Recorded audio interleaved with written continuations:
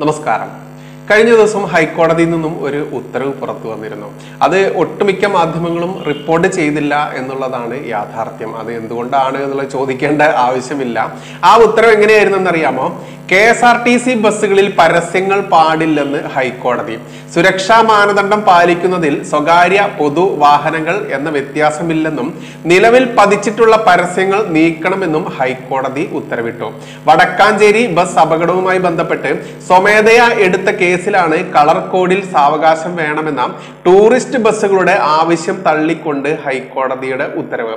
അതായത് ഇപ്പൊ നമുക്കറിയാം വടക്കാഞ്ചേരിയിൽ നടന്ന ഒരു അപകടം ഒമ്പതോളം പേരുടെ മരണം നടന്ന ആ ഒരു അപകടം. ആ അപകടം നടന്നതിന് ശേഷം നമ്മുടെ കേരള സർക്കാർ പുതിയൊരു നയമൊക്കെ കൊണ്ടുവന്നിട്ടുണ്ട്. എന്തെന്നറിയാമോ? ടൂറിസ്റ്റ് ബസ്സുകളായ ബസ്സുകളൊക്കെ എന്ത് ചെയ്യണം? വെള്ള കളർ ഒറ്റ കളർ. വെള്ളയിലാണ് മഹത്വം. വെള്ളയാണ് മക്കളെ ഈ വിജയം എന്ന രീതിയിൽ ഏതോ ഒരു പാസ്റ്റർ പ്രസംഗിക്കുന്ന വാക്കുകളൊക്കെ നിങ്ങൾ കേട്ടിട്ടില്ലേ? വെള്ള വെള്ളയാണ് വെള്ള. അങ്ങനെ ഒരു പ്രസംഗം ഞാൻ കേട്ടിട്ടുണ്ട്. അങ്ങനെ വെള്ളയിലേക്ക് നീങ്ങുകയാണ് നമ്മുടെ ഈ പറയുന്ന ടൂറിസ്റ്റ് ബസ്സുകളെല്ലാം. അത്തരത്തിൽ അതിന് സാവകാശം വേണമെന്ന് ചോദിച്ചുകൊണ്ടാണ് ഈ ടൂറിസ്റ്റ് ബസ്സുകളുടെ ആളുകൾ ഈ കോടതിയെ സമീപിച്ച് കോടതി ആ ഹർജി തള്ളിക്കൊണ്ടുള്ള ഉത്തരവിലാണ് കൃത്യമായിട്ടും കെ എസ് ആർ ടി സിയിൽ പതിച്ചിട്ടുള്ള സകല പരസ്യങ്ങളും നീക്കം ചെയ്യണമെന്ന ആ ഒരു ഗംഭീര ഉത്തരവും കൂടി കൊണ്ടുവന്നത്. എന്നാൽ അത് പാലിക്കാൻ ഇവിടുത്തെ ഗതാഗത വകുപ്പിന് പറ്റുമോ എന്നുള്ളത് സംശയകരം തന്നെയാണ്. കാരണം എല്ലാ ബസിന്റെയും മുകളിലുണ്ടായിരിക്കും പിണറായി വിജയന്റെ ഇളിച്ചുകൊണ്ടുള്ള ഒരു മോന്തായം. ഓരോ K S R T C ബസ്സിനുണ്ടായിരിക്കും Pinarayi വിജയന്റെ മോന്തായം. അത് ശ്രീനിവാസൻ ഒരു സിനിമയിൽ പറയുന്നുണ്ടല്ലോ എന്റെ മോന്ത എന്റെ കയ്യ് എന്റെ ഈ കൈ എന്റെ കാൽ എന്റെ വേറെന്തൊക്കെയോ അങ്ങനെയൊക്കെ പറയുന്നൊരു ഡയലോഗ് ഉണ്ടല്ലോ ഒരു സിനിമ ആ സിനിമ പോലെ തന്നെ പിണറായി വിജയന്റെ മോന്ത പിണറായി വിജയന്റെ പല്ല് പിണറായി വിജയന്റെ മൂക്ക് അതൊക്കെ തന്നെയാണ് കെ എസ് ആർ ടി ബസ്സിലൊക്കെ പതിപ്പിച്ചു വെച്ചിരിക്കുന്നത്. എന്നിട്ടോ അത് മാത്രമാണോ? ഇവർ പറയുന്നുണ്ട് ലഹരിമുക്ത കേരളം എന്ന് പറയുന്ന ഒരു മുദ്രാവാക്യം കൂടി K S R T C ബസ്സിന്റെ പുറകിലുള്ള അതല്ലെങ്കിൽ രണ്ട് വശങ്ങളിലൊക്കെ ഉള്ള പരസ്യം നമുക്ക് കാണാനാവും എന്നാലോ ഈ ലഹരിമുക്ത കേരളം എന്ന് പരസ്യങ്ങളായ പരസ്യങ്ങളൊക്കെ പ്രചരിപ്പിച്ചുകൊണ്ട് അതിന് രംഗത്തിറങ്ങുന്ന ഡിവൈഎഫ്ഐയുടെ പോരാളികളെയൊക്കെ നമ്മൾ കണ്ടു. അങ്ങനെ പരസ്യം ഒരു ഭാഗത്ത് എന്നാലോ ഈ കേരളത്തിന്റെ മുക്കിലും മൂലയിലും ബീവറേജുകളും ബാറുകളും തുടങ്ങാൻ വേണ്ടിയിട്ടുള്ള ആ ഒരു അനുമതിയും ആ ഒരു നടപടിയും വേറെ വശത്ത്. അപ്പൊ എന്താണ്? ഞങ്ങൾ ഇത് പ്രചരിപ്പിക്കും എന്ത്? മദ്യവും മയക്കുമരുന്നും വിറ്റുകൊണ്ട് തന്നെയാണ് ഈ കേരള സർക്കാർ നിലനിന്ന് പോകുന്നതെന്നും പിന്നെയോ അത് ലഹരിമുക്ത കേരളം എന്ന രീതിയിൽ പരസ്യം ഞങ്ങൾ പ്രചരിപ്പിക്കുകയും ചെയ്യും. എന്ന ആ ഒരു ഇരട്ടത്താപ്പ് തന്നെയാണ് പിണറായി വിജയന്റെ ആ മുഖം തന്നെയാണ് ഹൈക്കോടതി ഈ ഉത്തരവിലൂടെ വലിച്ചു കീറാൻ ഉദ്ദേശിച്ചിരിക്കുന്നത് എന്ന് പറയാതിരിക്കാനാവില്ല. എന്തായാലും ഈ ലഹരി മുക്ത ഈ പിണറായി വിജയനും ഡിവൈഎഫ്ഐ സി പി എമ്മും ഒക്കെ ഇന്ന് ലഹരി മുക്ത കേരളത്തിന് വേണ്ടി രംഗത്തിറങ്ങിയിരിക്കുകയാണ്. എന്നാൽ കഴിഞ്ഞ ദിവസം നമ്മൾ എല്ലാവരും ഒരു വീഡിയോ കണ്ട് എന്തായിരുന്നു?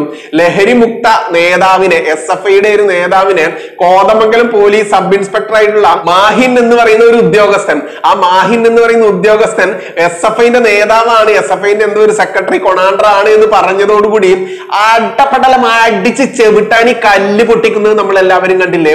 ഇത് കേരളത്തിലെ ജനങ്ങൾ എല്ലാവരും ആഗ്രഹിച്ചത് തന്നെയാണ്. കാരണം ഇന്ന് നമ്മുടെ തലമുറയെ നമ്മുടെ യുവതലമുറയെ നമ്മുടെ വിദ്യാർത്ഥികൾ അത് നോക്കൂ ആറാം ക്ലാസ് അഞ്ചാം ക്ലാസ് മുതലുള്ള കുട്ടികളെ പോലും നശിപ്പിച്ചുകൊണ്ടിരിക്കുന്നത് ഈ യുവജന പ്രസ്ഥാനം തന്നെയാണ്. ഈ യുവജന പ്രസ്ഥാനത്തിന്റെ ഇത്തരത്തിലുള്ള മയക്കുമരുന്നിനോടും അതല്ലെങ്കിൽ കഞ്ചാവടക്കമുള്ള മദ്യ മാഫിയകളും ഒക്കെ കോളേജുകളിലേക്കും സ്കൂളുകളിലേക്കും എത്തിച്ചത് ആര് എന്ന് ചോദിക്കുന്നിടത്തും ഈ നാറികൾക്ക് സ്ഥാനമുണ്ട് എന്ന് പറയാതിരിക്കാനാവില്ല. അത് ഈ ഭാഷയിൽ തന്നെ പറയേണ്ടതുണ്ട്. അത്തരത്തിൽ എസ് എന്ന് കേട്ടപ്പോൾ തന്നെ മാഹിൻ എന്ന് പറയുന്ന ആ എസ് ഐ എന്ത് ചെയ്തു? അടിച്ചുവന്റെ ചെവിട്ടാനി കല്ല് പൊട്ടിക്കുന്നത് നമ്മൾ കണ്ടു. എന്നിട്ടോ ആ പോലീസ് ഉദ്യോഗസ്ഥന് സസ്പെൻഷൻ കിട്ടി. ഇനി ഈ മാഹിന് മറ്റൊരു പ്രത്യേകത കൂടി ഉണ്ട്. എന്തെന്നറിയാമോ? കേന്ദ്ര ആഭ്യന്തര മന്ത്രാലയത്തിന്റെ അവാർഡ് നേടിയ ഒരു ഉദ്യോഗസ്ഥൻ കൂടിയാണ് മാഹിൻ. അതായത് കൃത്യമായിട്ടുള്ള സ്തുത്യാർഹമായിട്ടുള്ള ആ ഒരു പ്രവൃത്തി നടത്തിയത് കൊണ്ട് തന്നെ കേന്ദ്ര ആഭ്യന്തര മന്ത്രാലയത്തിന് മനസ്സിലായി. പിണറായി വിജയന്റെ ആഭ്യന്തര മന്ത്രാലയത്തിന് മനസ്സിലാവില്ല. കാരണം എന്താ? പിണറായി വിജയന്റെ ആഭ്യന്തര മന്ത്രാലയത്തിന് എന്ത് ചെയ്യണം? ഈ എസ് എഫ് ഐ കുട്ടി ചെറ്റകളെ സല്യൂട്ട് ചെയ്യണം. പിന്നെ ഡിവൈഎഫ് യുവ ജനത എന്ന് പറയുന്ന ആ രീതിയിൽ നശിപ്പിച്ചുകൊണ്ടിരിക്കുന്ന ആ ചെറ്റ സഖാക്കന്മാരെ സല്യൂട്ട് ചെയ്യണം. പിന്നെയോ പിണറായി വിജയൻ അടക്കമുള്ള മാറിയ രാഷ്ട്രീയ നപുംസകങ്ങളെ എന്ത് ചെയ്യണം? സല്യൂട്ട് ചെയ്യണം. അത്തരത്തിൽ സല്യൂട്ട് ചെയ്യുന്ന അതല്ലെങ്കിൽ അവന്റെയൊക്കെ അമേദ്യമായാലും ഭക്ഷിക്കുന്നവർക്ക് മാത്രമേ ഈ നാട്ടിൽ അവാർഡ് കിട്ടുകയുള്ളൂ. അത് തന്നെയാണ് മീശ എന്ന നോവലിലൂടെ നമ്മൾ എല്ലാവരും കണ്ടത്. എന്താണ്? കൊച്ചു പുസ്തകം. ഇതിനെപ്പോലും നാണിപ്പിക്കുന്ന രീതിയിൽ വെറും സെക്സ് മാത്രം എഴുതി പിടിപ്പിച്ച ആ ബുക്കിന് വയലാർ അവാർഡ് വരെ കൊടുത്ത് അത്ര കണ്ട് പിണറായി വിജയന് പൊക്കുന്നുണ്ടെങ്കിൽ പിണറായി വിജയന്റെ ആ മനസ്സിലെ ആരും കാണാതെ പോവാത്ത ഒന്നുണ്ട്. എന്താണ്? ഹിന്ദു വിരുദ്ധത.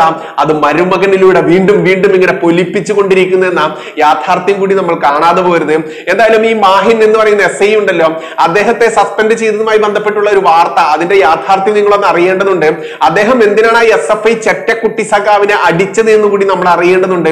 എന്താണെന്ന് അറിയാമോ തൊടുപുഴ സ്വദേശിയും കോതമംഗലം എസ് ഐയുമായ മാഹിൻ സലീം എന്ന കേന്ദ്ര ആഭ്യന്തര മന്ത്രാലയത്തിന്റെ പോലീസ് മെഡൽ നേടിയ മികവുള്ള ഒരു ഉദ്യോഗസ്ഥനെ ക്രൂശിച്ചത് ആർക്ക് വേണ്ടി? കോതമംഗലത്ത് സംഭവിച്ചത് എന്താണ്? അതാണ് ഇനി പറയാൻ പോകുന്നത്. കോതമംഗലം ബൈപ്പാസിൽ പ്രവർത്തിക്കുന്ന മിസ്റ്റർ പാണ്ട എന്ന ജ്യൂസ് കടയിൽ പുലർച്ചെയോളം സാമൂഹ്യ വിരുദ്ധർ കൂട്ടം കൂടുന്നതായും സാമൂഹ്യ വിരുദ്ധർ എന്ന് വായിക്കേണ്ട S F I DYFI C P M സാമൂഹ്യ വിരുദ്ധർ. പാർട്ടിക്കാർ ഒത്തുകൂടുന്നു എന്ന് മാത്രം വിചാരിച്ചാൽ മതി മനസ്സിലാക്കിയാൽ മതി. അവിടെ ലഹരി ഉപയോഗം നടക്കുന്നതായും പോലീസിന് വിവരം ലഭിച്ചു. ലഹരിക്ക് എതിരെ സർക്കാർ ശക്തമായ പോരാട്ടം നടത്തുന്ന ഈ കാലത്ത് ലഹരിക്കെതിരെ എന്താണ് ശക്തമായ പോരാട്ടം നടത്തുന്ന ഈ കാലത്ത് ഉത്തരവാദിത്തം ഉൾക്കൊണ്ട് പോലീസ് നിരീക്ഷണം നടത്തുകയും പതിനൊന്ന് പത്ത് രണ്ടായിരത്തി ഇരുപത്തിരണ്ട് സ്ഥാപന പരിസരത്ത് വാഹനത്തിൽ നിന്നും കഞ്ചാവ് ഉൾപ്പെടെയുള്ള നിരോധിച്ച ലഹരി വസ്തുക്കൾ കണ്ടെടുക്കുകയും കേസ് എടുക്കുകയും ഉണ്ടായി. പിറ്റേ ദിവസം ഈ സ്ഥാപനത്തിന്റെ മുൻപിൽ പരസ്യ മദ്യപാനം നടത്തിയവരെ പോലീസ് കസ്റ്റഡിയിൽ എടുക്കുകയുണ്ടായി ഇതിന്റെ അടിസ്ഥാനത്തിൽ സ്ഥാപനം നേരത്തെ അടയ്ക്കണമെന്ന് കട ഉടമയോട് നിർദ്ദേശിക്കുകയും ഈ സ്ഥാപനത്തിൽ കർശന നിരീക്ഷണം നടത്തുന്നതിന് വേണ്ടി കോതമംഗലം എസ് ഐ മാഹിൻ സലീം അന്നേ ദിവസം നൈറ്റ് ഡ്യൂട്ടി ഇല്ലാതിരുന്നിട്ട് കൂടി പുലർച്ചെ ഒരു മണിവരെ സ്റ്റേഷനിൽ ഫയൽ നോക്കിയിരുന്ന ശേഷം പട്രോളിംഗ് ജീപ്പ് വിളിച്ച് വരുത്തി ഒന്നേ മുപ്പത് മണിയോടെ അതായത് പുലർച്ചെ ഒന്നേ മുപ്പത് മണിയോടെ മിസ്റ്റർ പാണ്ഡ എന്ന സ്ഥാപനത്തിൽ എത്തുകയും ആ സമയത്ത് പതിനഞ്ചോളം സഖാക്കന്മാരുണ്ടായിരുന്നു. പതിനഞ്ചോളം പേര് അവിടെ ഉണ്ടായിരുന്നു. അവരോട് പേരും അഡ്രസ്സും നൽകി പിരിഞ്ഞു പോകാൻ ആവശ്യപ്പെടുകയും എന്നാൽ മൂത്ത അഞ്ച് സഖാക്കൾ ആ പേരും അഡ്രസ്സും കൊടുത്തില്ല. ഉദ്യോഗസ്ഥരോട് തട്ടിക്കയറുകയും ചെയ്തു ഇതിൽ ഒരാൾ പോലീസിനെ ആക്രമിക്കാൻ തുനിയുകയും ചെയ്തു ഇയാളെ കസ്റ്റഡിയിലെടുത്ത് പോലീസ് സ്റ്റേഷനിൽ കൊണ്ടുവരികയും മെഡിക്കൽ എടുക്കുന്നതിനുള്ള നടപടികൾ സ്വീകരിക്കുന്ന സമയത്ത് എസ് എഫ് ഐ നേതാവ് അടക്കം അതായത് ഇവിടെയും ഇവിടെ അടിച്ച് പൊട്ടിച്ചില്ല മാഹിൻ സലീം എന്ന് പറയുന്ന എസ് ഐയും ആ അടി കിട്ടിയ ആ നാറിയുണ്ടല്ലോ. അവനടക്കം മറ്റു നാല് പേർ സ്റ്റേഷനിൽ എത്തുകയും അസഭ്യം വിളിച്ച് ബഹളം ഉണ്ടാക്കുകയും ചെയ്യുന്നു. ഇതിൽ അക്രമകാരിയായ ഒരാളെ പോലീസിന് ബലം പ്രയോഗിച്ച് കസ്റ്റഡിയിൽ എടുക്കേണ്ടി വന്നു. സംഭവത്തിന്റെ കുറച്ച് ഭാഗം ഇങ്ങനെ പോവുകയാണ് ഇതിന്റെ ഡീറ്റെയിൽസ്. അതായത് ഇതിൽ ആക്രമണം നടത്തിയ ആ എസ് എഫ് ഐ ചെറ്റ എന്ന് തന്നെ അക്ഷരം തെറ്റാതെ വിളിക്കാവുന്ന അവനെയാണ് ആ മാഹിൻ എന്ന് പറയുന്ന ആ എസ് ഐ അടിച്ചത്. അതിനെന്തായി ഇപ്പോ എസ് ഐ എന്ന് പറയുന്ന ഒരു മാഹിൻ സലീം എന്ന് പറയുന്ന അയാളെ സസ്പെൻഡ് ചെയ്തു. പിന്നെയോ അവിടുത്തെ സർക്കിൾ ഇൻസ്പെക്ടർ ആയിട്ടുള്ള ബേസിൽ തോമസിനെ സ്ഥലം മാറ്റുകയും ചെയ്തു. എന്താ ഗംഭീര ആഭ്യന്തര മന്ത്രി. ഇതാണ് നമ്മുടെ കേരളത്തിന്റെ അവസ്ഥ. സഖാക്കന്മാരായി കഴിഞ്ഞാൽ എന്ത് തെണ്ടിത്തരവും ചെയ്യാം. എന്ത് തെമ്മാടിത്തരവും ചെയ്യാം. എന്ത് ക്രൂരകൃത്യങ്ങളും ചെയ്യാം. അത് തന്നെയാണ് ഈ പറയുന്ന ഇലന്തൂരിൽ നടന്ന നരബലി കേസുമായി ബന്ധപ്പെട്ട് നമ്മൾ പരിശോധിച്ചാലും മനസ്സിലാക്കാനാവുക. സഖാക്കന്മാരായിക്കോട്ടെ സുഡാപ്പികളായിക്കോട്ടെ എന്ത് ദുഷ്ടത്തരം ചെയ്താലും നോ പ്രോബ്ലം അതിവിടെ അനുവദനീയമാണ്. അതായത് സുഡാപ്പികൾ പറയാറുണ്ടല്ലോ സ്ത്രീ കൃഷിയിടമാണെന്ന് പറഞ്ഞാൽ അതും അനുവദനീയമാണ് ഞമ്മന്റെ മതത്തിൽ. അത്തരത്തിൽ തന്നെ ഞമ്മന്റെ ഈ നാട് ഞമ്മന്റെ ആൾ ഭരിക്കുന്ന ഈ നാട് കൃത്യമായിട്ട് കേരളം ഇസ്ലാമിക ജിഹാദികൾ പൂണ്ടുവിളയാടുന്ന ഈ നാട് ഈ നാട്ടിൽ സഖാക്കൾ എന്ത് ചെയ്താലും അത് അനുവദനീയം തന്നെയാണ്. അവർക്കെതിരെ വിരലുയർത്തിയാൽ അവർക്കെതിരെ ചോദ്യങ്ങൾ ചോദിച്ചു കഴിഞ്ഞാൽ അവരെ സസ്പെൻഡ് ചെയ്തും അതല്ലെങ്കിൽ സ്ഥലം മാറ്റിയും നശിപ്പിച്ച് കളയുന്ന രീതിയിൽ കൊന്നൊടുക്കിയും വരെ ഞങ്ങൾ ഭരിക്കും ഞങ്ങളുടെ ഭരണമാണ് ഞങ്ങൾ നരഭോജികളാണ് എന്ന് വീണ്ടും വീണ്ടും തെളിയിക്കുന്ന ഈ വർഗത്തിന്റെ ഭരണത്തിൽ സംഭവിക്കുന്ന ഇതിലൊന്നും അത്ഭുതപ്പെടാനില്ല എന്നുള്ളത് തന്നെയാണ് യാഥാർത്ഥ്യം. അതുകൊണ്ട് തന്നെ K S R T C ബസ്സിലുള്ള Pinarayi വിജയന്റെ മോന്തായം പതിച്ച പരസ്യമൊന്നും ആ പറിച്ചു കളയാനൊന്നും പോകുന്നില്ല. കാരണം ഞാൻ എന്റെ മുഖം എന്റെ കണ്ണ് എന്റെ മൂക്ക് എന്റെ സല്ല് അങ്ങനെ ഒരുപാട് സാധനങ്ങളുണ്ട്. അതാണ് പിണറായി വിജയന്റെ പി ആർ വർക്ക് എന്ന് പറയുന്നത്.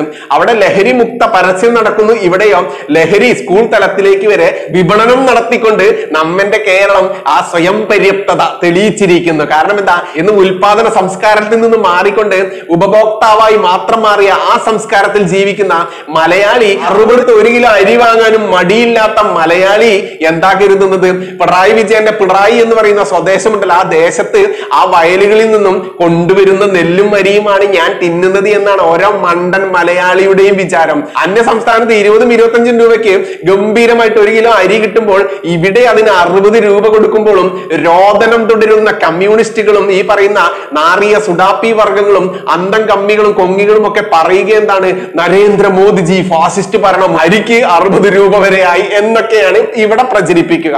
ഇത് തന്നെയാണ് ഈ നാടിന്റെ നാശം. ഇത് തന്നെയാണ് ഈ നാട്ടിൽ നട്ട നട്ടപ്പാതിരയ്ക്ക് വന്ന് എൻ ഐ എ കേന്ദ്ര അന്വേഷണ ഏജൻസികൾക്ക് പൂണ്ടുവിളയാടുന്ന സുഡാപ്പി വർഗത്തെ പൊക്കിക്കൊണ്ടുപോകേണ്ടി വന്ന അവസ്ഥ എന്നത് കൂടി പറയാതിരിക്കാനാവില്ല. അത്തരത്തിൽ ഭരിച്ച് ഭരിച്ച് മുടിച്ച് ഈ നാടിനെ ചെകുത്താന്റെ നാടാക്കി മാറ്റിയ അതിലും പിണറായി വിജയന്റെ തൊപ്പിയിൽ പിണറായി വിജയന്റെ കിരീടത്തിൽ കുറെ കാക്കത്തൂവലുകൾ ഇങ്ങനെ കുത്തി കുത്തി കുത്തി കുത്തി നിറച്ചു കൊടുക്കുന്ന സുഡാപ്പികൾക്ക് എന്തായാലും ഒരു വലിയ നമസ്കാരം എന്ന് തന്നെ പറയാതിരിക്കാനാവില്ല. അത്ര കണ്ട് പിണറായി വിജയന്റെ ഇരട്ട മുഖം വലിച്ചു ചീന്തുന്ന രീതിയിലുള്ള ഈ കോടതി ഉത്തരവ് മാക്സിമം ആളുകളിലേക്ക് എത്തിക്കുക. ആ എസ് ഐ ആയാലും സി ഐ ആയാലും അവർ അവർ നടത്തിയ കൃത്യനിർവഹണം അവരുടെ ആ ഒരു ഉത്തരവാദിത്തം അതുപോലും ഇവിടെ നടത്താൻ ആരും സമ്മതിക്കില്ല. അത് കുട്ടി ചെറ്റ സഖാവാണെങ്കിലും വലിയ മുന്തിയ ചെറ്റ സഖാവാണെങ്കിലും ഒരേ രീതിയിൽ തന്നെയാണ് ഇവിടെ നടമാടുക എന്നത് പച്ചയ്ക്ക് തെളിയിച്ചു തന്നിരിക്കുന്ന ഈ നാളുകളിൽ വീണ്ടും മണ്ടൻ മലയാളി നിനക്ക് വലിയൊരു വലിയ വലിയ നമോവാകം എന്ന് മാത്രമേ പറയാനുള്ളൂ. നന്ദി നമസ്കാരം. ജയ് ഹിന്ദ് ജയ് ശ്രീറാം.